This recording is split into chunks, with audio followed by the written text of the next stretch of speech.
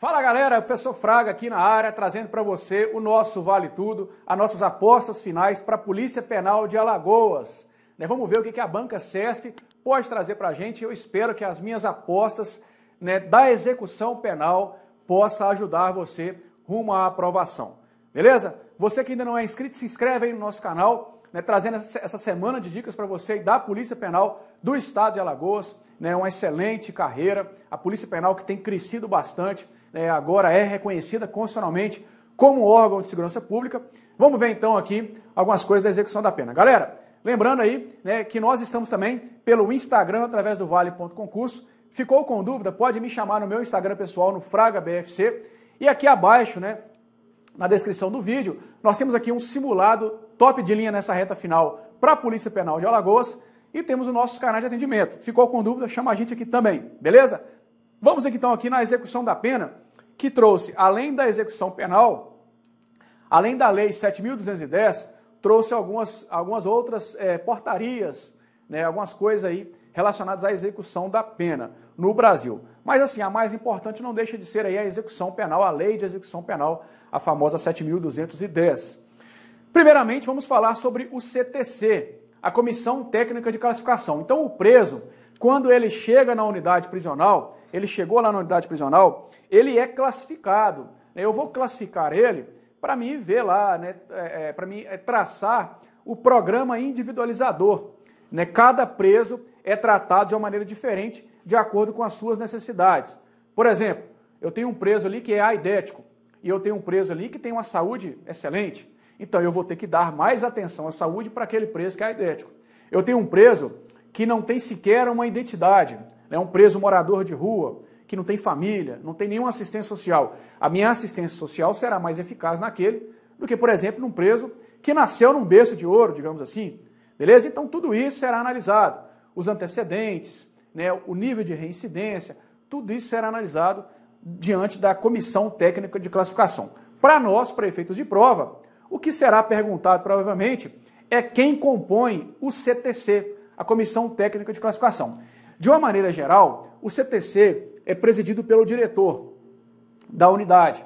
Tá? Quando forem casos de progressão de regime, regressão de regime, dentre outros, sai temporária, dentre outros, o CTC é presidido pelo juiz, mas via de regra é pelo diretor. E ele será composto por dois chefes de serviço, um psiquiatra, um psicólogo e um assistente social. Pegadinhas de prova. Esses chefes de serviço geralmente são policiais penais, né? Às vezes policiais penais vai de acordo com cada unidade. Né? Pode ser que né, cada unidade tenha uma nomenclatura diferente para um chefe de serviço, mas pode ser aqui um diretor adjunto, pode ser aqui um coordenador, pode ser aqui um líder de equipe, enfim, tá?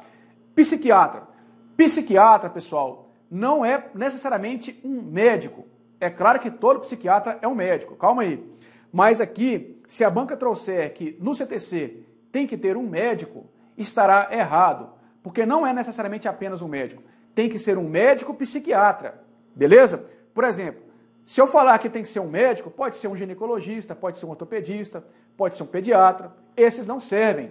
Tem que ser um psiquiatra, um médico psiquiatra, tá? Cuidado com isso aí. E aí um psicólogo um assistente social. Então a maior pegadinha de prova está em cima aqui do psiquiatra. E isso né, será o CTC quando se tratar de condenado a pena privativa de liberdade, que seja no aberto, semiaberto ou fechado. Nos demais casos, a comissão atuará junto ao juiz da execução por fiscais do serviço social. Tá? Então é isso aqui com base no CTC. Exame criminológico. A CESP gosta muito de jurisprudência, entendimento de tribunal. O que acontece? É, existe o exame criminológico. Né? O exame criminológico eu não vou adentrar, porque não é, não é matéria nossa de prova, a criminologia, os aspectos criminológicos, o que isso significa. Para nós pouco importa na lei de execução penal. O negócio é que a lei de execução penal fala que quando o condenado de pena privativa de liberdade no regime fechado, quando ele estiver no regime fechado, ele será submetido a exame criminológico. E no semiaberto, poderá, ou seja, é facultativo, pode ou não. Beleza? Hoje, a jurisprudência entende que é facultativo. Então, independente se você estiver no regime fechado, né, condenado a pena privativa de liberdade, independente que seja um regime fechado ou semiaberto, pode ou não fazer aqui o exame criminológico. geralmente vai de acordo com alguns benefícios. Né? Você vai ganhar algum benefício da justiça, liberdade condicional, dentre outros, o juiz faz ou não, né? é facultativo. Tá? Outra coisa importantíssima é a grande alteração do pacote anticrime. Caiu na Polícia Penal do Pará, Polícia Penal do Pará, que foi recente agora, uma das últimas provas. Então, aqui, ó, questão fresquinha, deixa seu like aí, que é questão fresquinha de prova. Antigamente, antigamente, né, vamos primeiro entender o seguinte: o preso, em determinados momentos, ele pode ser submetido à extração de DNA. Por qual motivo isso aí? Né? Digamos, por exemplo, que aconteça um crime ali, né, um, uma, um estupro. Aparece uma mulher morta e estuprada ali na rua, tá? Eu não tenho provas, ninguém viu, não tenho filmagens. Eu vou lá e acho né, uma poça de alguma mancha de sangue que não é dela, ou acho uma unha, né, um vestígio de unha ou um fio de cabelo, não é dela. Eu levo para o laboratório e eu consigo achar o DNA do João Batista. O João Batista estava na cena do crime, aquele cabelo é dele. Então, eu já tenho agora um primeiro suspeito naquele crime. Beleza? Então, a, a ideia é montar um banco de dados, né, nível CSI que você vê aí nos seriados americanos, montar um banco de dados para ajudar na investigação criminal, ajudar na, nas decisões judiciais. A ideia é essa. Então, alguns presos serão submetidos à extração de DNA. Essa extração ela é obrigatória. O preso que, é, né, que, que, que está dentro desses aqui, ele é obrigado a ser submetido a essa extração. Porém, ele pode negar isso. Professor, mas você está dizendo que ele é obrigatório, mas pode negar? Não confunda obrigatório com forçado, tá? Obrigatório é uma coisa, forçado é outra. Por exemplo, você é obrigado a votar. Não é obrigado a votar? No Brasil, o voto é obrigatório, né, em alguns casos. Mas ninguém te pega na sua casa à força no braço e te manda você votar. Você vota se você quiser. O negócio é que se você não votar, você recebe uma multa. E você fica impedido, né? Seus direitos políticos ficam impedidos. Inclusive de exercer cargo público, etc. Então é, um, é uma coisa obrigatória, né, entre aspas. Assim também é o preso. Então o preso é obrigado a se submeter à extração do DNA, mas se ele quiser se recusar, ele pode. Só que se uma vez ele recusou, ele é punido com falta grave, de acordo com a lei de execução penal. Leva isso para a prova, tá? Beleza. Agora, quais presos são obrigados a se submeterem à extração de DNA? Antigamente, nós tínhamos aqui dentre os presos aqueles que cometeram crimes hediondos. Isso foi retirado da lei, tá? Foi retirado da lei a alteração de quem? Do pacote anticrime, lei 13.964. Se eu tiver errado, me corrigem, mas eu acho que o número da lei é essa mesmo. Então, agora, o condenado por crime doloso praticado com violência grave contra a pessoa, bem como crime contra a vida, contra a liberdade sexual ou crime sexual contra vulnerável. Esses serão submetidos obrigatoriamente à identificação do perfil genético. Aí tem que ser indolor, né? Algumas regrinhas aí, mas o mais importante é quem se submete à extração de DNA. Leva para a prova que isso aí é matéria de prova. Beleza? Vamos então agora à assistência. Né? É dada ao preso para que eu faça, né? Você tem que entender que a lei de execução penal, a intenção dela é ressocializar o preso. Uma vez que no Brasil não existe pena de caráter perpétuo. Ninguém fica preso para sempre. Se alguns presos ficassem presos para sempre, de maneira perpétua, dane-se. Eu não quero reentregar esse cara. Eu vou tratar ele como um bicho enjaulado e eu não quero saber. Eu vou deixar ele lá até o dia que ele morrer. Só que no Brasil não é assim. No Brasil, aquele cidadão que está preso, né, aquela pessoa que está presa, ela volta para a sociedade. Um dia ela volta para a sociedade. E, ela, e eu não quero que ela me cause mais problemas. Então, para isso, eu preciso de ressocializar o preso. Eu preciso de reintegrá-lo à sociedade. E isso só vai, ser, só vai acontecer se eu der a ele algumas assistências, que são, dentre elas, a material, a saúde, jurídica, educacional, social e religiosa. Tá? Isso aqui também é matéria de prova, caiu também na Polícia Penal do Pará. Talvez a CESP ela vai aprofundar um pouco mais nessas assistências, tá? ela vai aprofundar um pouco mais. Na Polícia Penal do Pará, colocou dentre essas a política. Nós não temos aqui uma assistência política, beleza? Então nós temos aqui a assistência material, que será dada ao preso as roupas para ele vestir, a roupa de cama, será dada a ele a assistência relacionada à alimentação, né, o vestuário e instalações higiênicas, um vaso sanitário, um lugar para ele lavar as mãos, uma cela, arejada, etc. A assistência à saúde compreende assistência médica, odontológica e farmacêutica. A assistência jurídica compreende uma assistência a presos sem recursos financeiros, tá? Aqui é presos sem recursos financeiros. Leve isso para a prova, que a grande possibilidade de cair é a jurídica.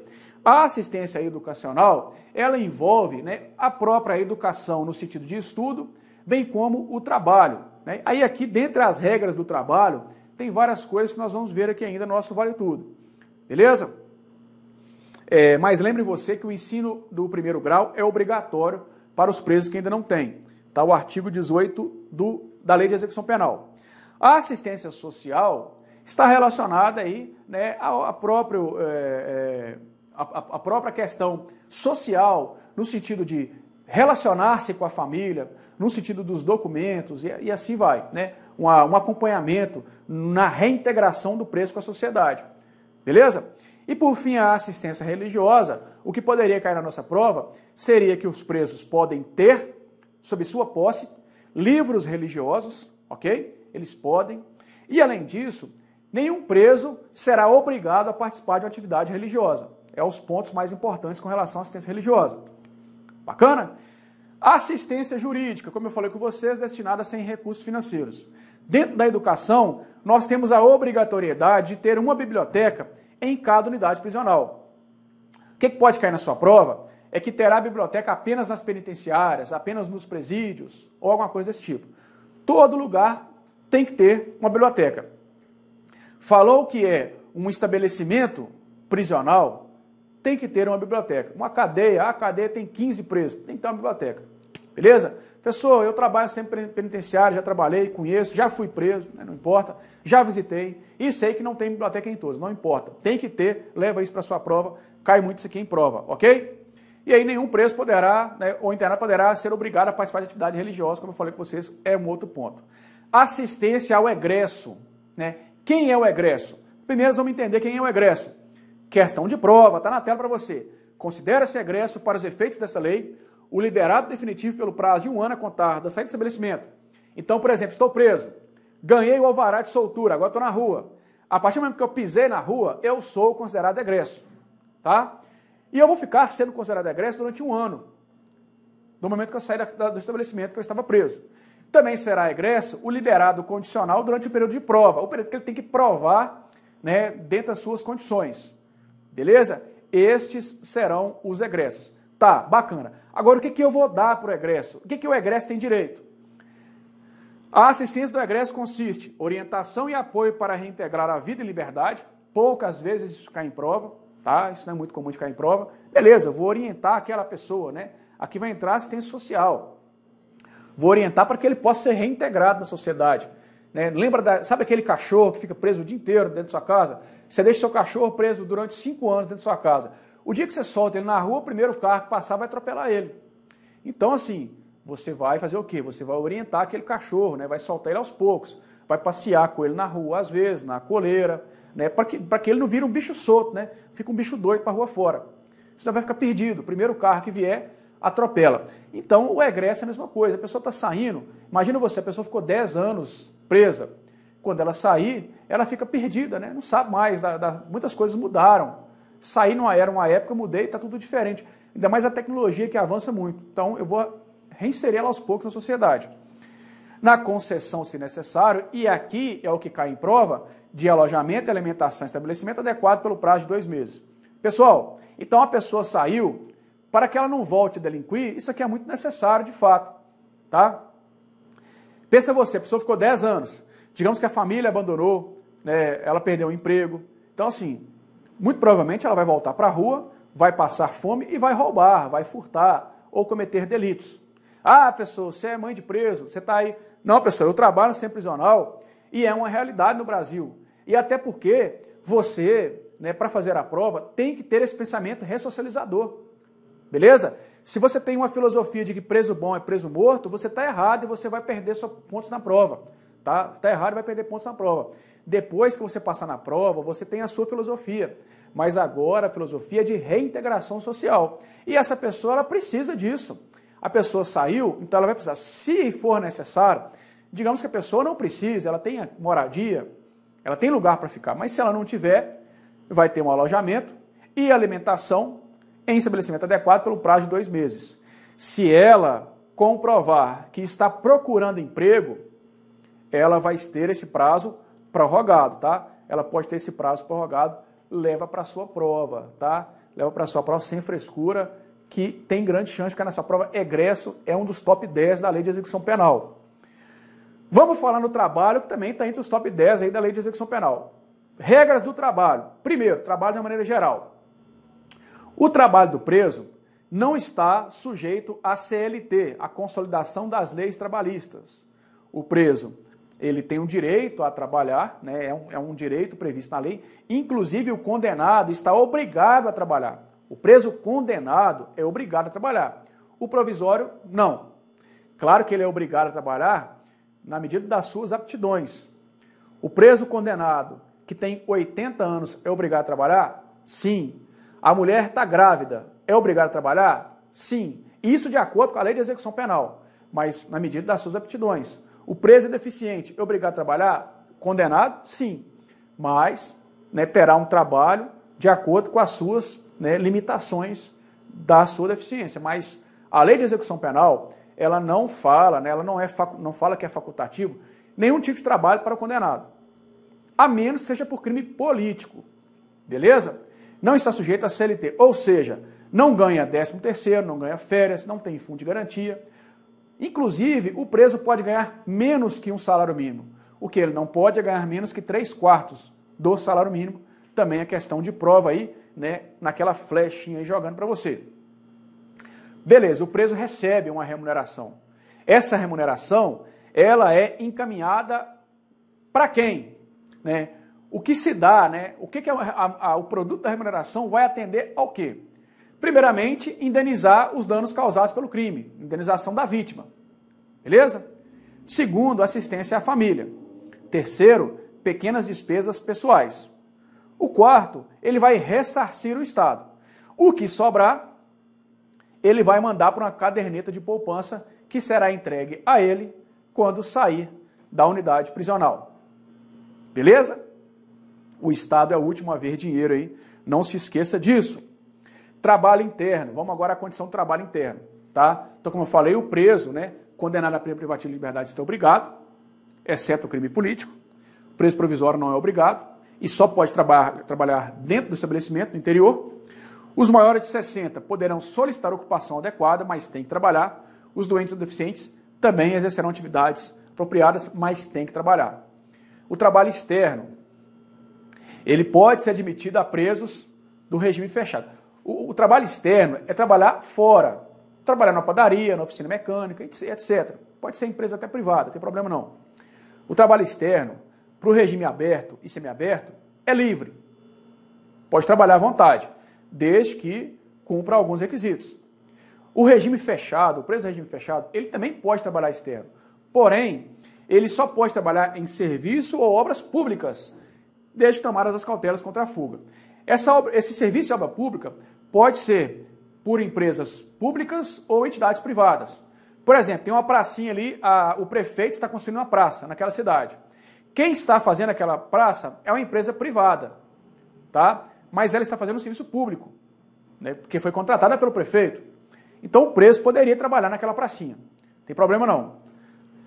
Número de presos é 10% do total de empregados. Então, digamos que vão trabalhar naquela pracinha 10 10, 10 trabalhadores. Eu vou ter 10 operários trabalhando naquela pracinha. Eu só posso ter um preso. Só posso ter no máximo 10% do total. Eu não posso colocar lá os 10 sendo presos. Beleza? Se for entidade privada, depende do consentimento do preso. Será autorizada pela direção e dependerá de aptidão, disciplina e responsabilidade, além do cumprimento mínimo de um sexto da pena. Tá? Leva para sua prova aí. E eu vou revogar a autorização se o preso praticar fato definido como crime, for punido por falta grave, tiver comportamento contrário aos requisitos estabelecidos neste artigo. Tudo aqui que nós vimos.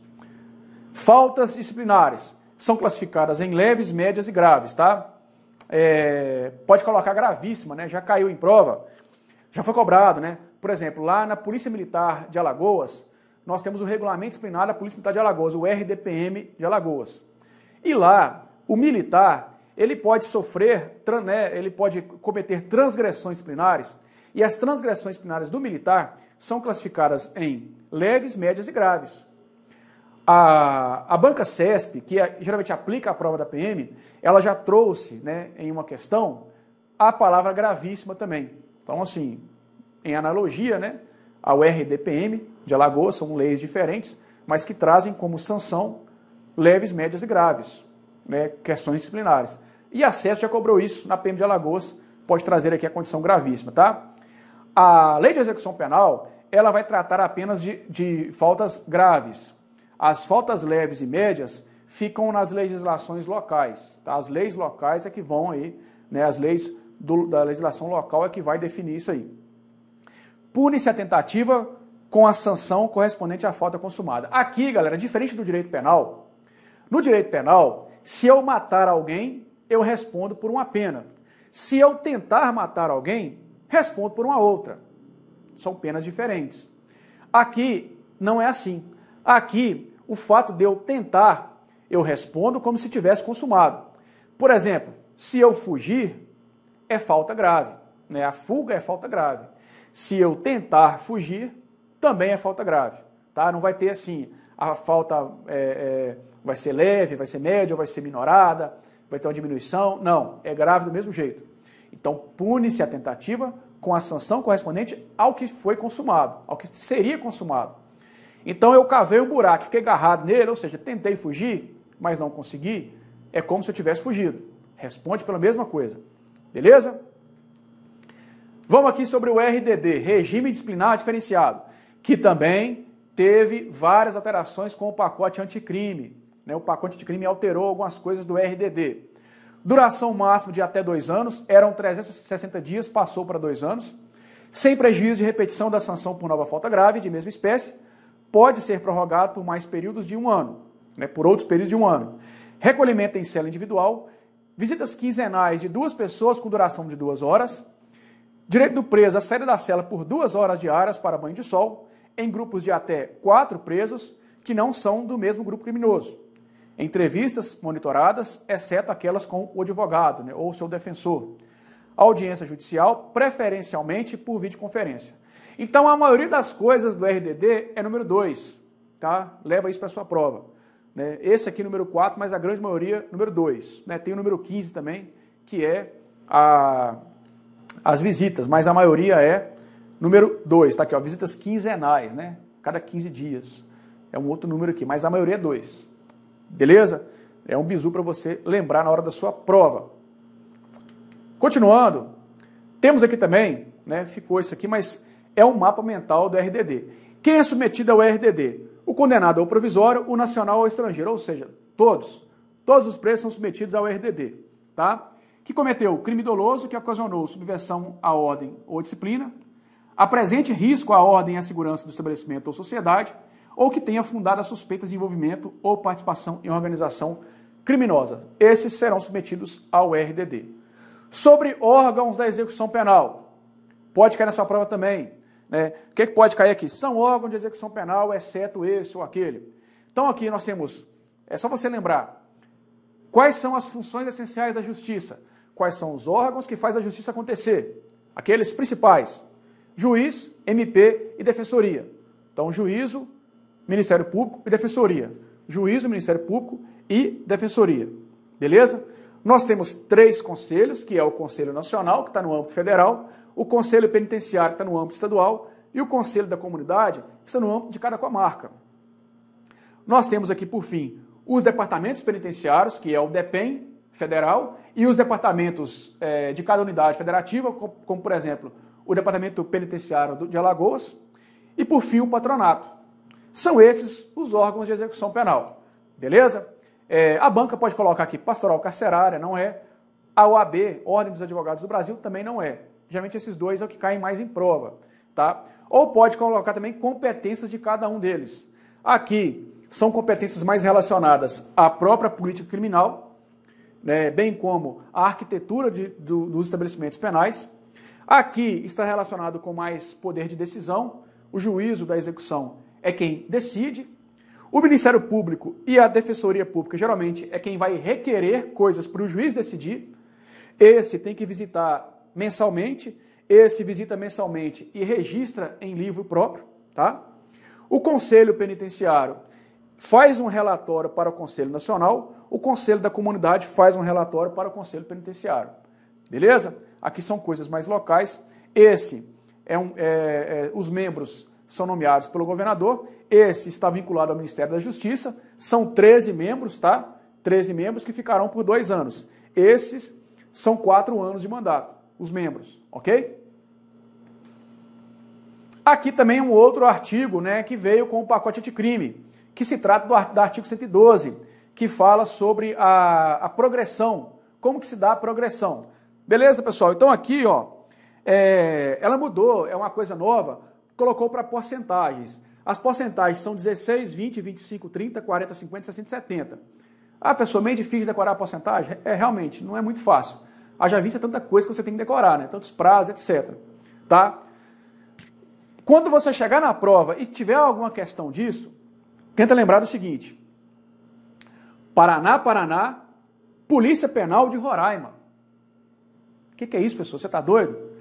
Primário reincidente, primário reincidente. Você vai fazer essa, essa, você vai fazer essa tabelinha aqui na sua, na sua, na sua, na sua, num cantinho da sua prova.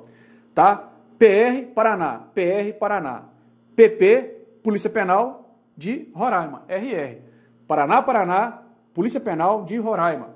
Ainda mais que nós tivemos prova da Polícia Penal de Roraima. Grande abraço para quem fez essa prova. Tivemos vários aprovados aí do Vale Concurso na Polícia Penal de Roraima que já estão trabalhando. Né? Já foram nomeados aí, já estão trabalhando. Então, Paraná, Paraná, Polícia Penal de Roraima. Primário reincidente, primário reincidente, primário, primário, reincidente, reincidente. Já te ajuda a você ter pelo menos uma noção de quantos por cento, né, quantas porcentagens nós teremos aqui. Beleza? Lembrando que depois do 30, vai de 10 em 10. Tá? Depois do 30 vai de 10 em 10. E o último é 70. Então você pode pegar de 70 para baixo. 70, 60, 50, 40, 30. E tenta lembrar que começa no 16. Pelo menos isso. Tenta lembrar que começa no 16. Pessoal, isso vai te ajudar um pouco, tá? É, é um pouco complexo. Ah, eu ainda não vi questões de prova cobrando isso, mas isso era muito cobrado antigamente. Depois que veio o pacote de crime, eu ainda não vi muitas questões de prova sobre isso. E aí, né, tem sem violência, sem violência, com violência e tudo mais tá? Depois tira um print aí, tá no meu Instagram também, no Fraga BFC, você encontra esse mapa mental que, eu fiz, talvez para poder te ajudar aí com base nessa lei de execução penal, nessa progressão de regime, tá? Deixa eu ver meu horário aqui, né? Já estamos em cima da hora, mas dá para falar um pouco sobre essa lei 11.671, que fala sobre a transferência e inclusão de presos em estabelecimentos federais de segurança máxima, tá?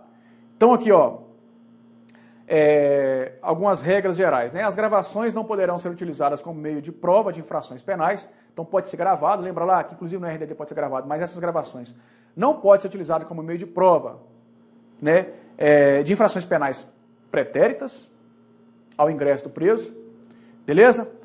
Os, legitimados para requerer a transferência à própria autoridade administrativa, que geralmente é o próprio DEPEN, o Ministério Público e o próprio preso, tá? Ao DEPEN facultado indicar o estabelecimento aí. Beleza? O prazo de permanência, três anos, renováveis por iguais períodos. Beleza, galera? Então é isso que eu queria deixar para vocês na nossa execução da pena aí. Espero que você tenha uma boa prova. Se você gostou, deixe seu like. Muito obrigado. Valeu demais. Se inscreve no canal. É a semana das nossas apostas finais aqui do Vale Concurso, rumo à aprovação na Polícia Penal de Alagoas. Galera, grande abraço, muito obrigado, fiquem com Deus. Aqui vale a pena. Valeu!